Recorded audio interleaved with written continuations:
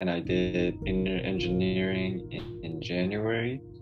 And I guess how I heard about inner engineering and Sadhguru is well, I've been really interested in Sadhguru's teaching for a long time. I guess everyone that's into into Sadhguru is like really into his content and kind of memorizes a lot of his dialogue and stuff. So it was kind of like that, but even deeper because it kind of touched on topics that I was really interested in. So it got into specifics, which which I was really looking for.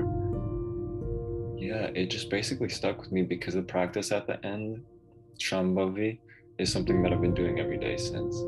It fits super well into my morning routine. It's just like a space where I can rebuild myself and then go back. A sense of effortlessness and being in the flow state way more often.